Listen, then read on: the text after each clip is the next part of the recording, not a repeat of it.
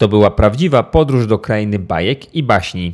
Dzieci z przedszkola miejskiego nr 7 z zespołu szkolno-przedszkolnego nr 12 odwiedziły bibliotekę miejską w Gliwicach, gdzie czekała na nich prawdziwa uczta czytelnicza i plastyczna. W ramach tego bajkowego spotkania dzieci miały również możliwość poruszania się po Gliwicach niezwykłą ciuchcią Martusią w eskorcie dwóch motorów policyjnych. Jest z nami tutaj koło naukowe Politechniki Śląskiej Wydziału Architektury.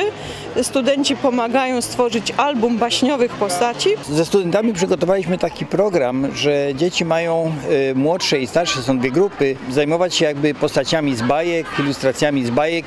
Y, Chcemy, aby każda y, grupka 4-5 osobowa, y, łącznie ze studentem, opracowali taką jedną stronę formatu 50 na 70, gdzie malują swoje wyobrażenia bajkowe o architekturze, miasto bajkowe, takie mają mieć pomysły, a w konsekwencji potem my z tego mamy złożyć formę takiej książki, e, która, która będzie jakby przedstawiała ich, e, tych dzieci, pracę, wszystkie e, ich pomysły i myślę, że to jest taka bardzo ciekawa i frapująca zabawa. Dzieci przedszkola miejskiego nr 7 przygotowywały się do dzisiejszego spotkania, poznając różne postacie zbajkowe i wiedząc, że będą miały okazję w bibliotece spotkać się z tymi postaciami, że będą mogły brać udział w warsztatach. Wiedzą, że miejsce takie jak biblioteka pokaże im właśnie i książki, i postacie bajkowe, i zagadki, i różnego rodzaju zajęcia. Po ekscytującym tworzeniu postaci z bajek na najmłodszych czekały kolejne atrakcje. Zaprosimy dzieci na śniadanie na trawie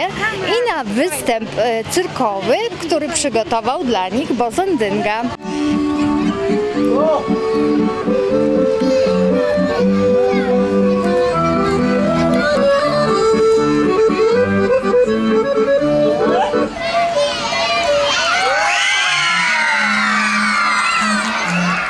Każda forma edukacji, a zwłaszcza edukacja przez zabawę, sprawia, że książka może stać się centrum zainteresowania nawet najmłodszych czytelników. A wszystko to po to, żeby dzieci zarówno poznały miasto, jak i poznały bibliotekę.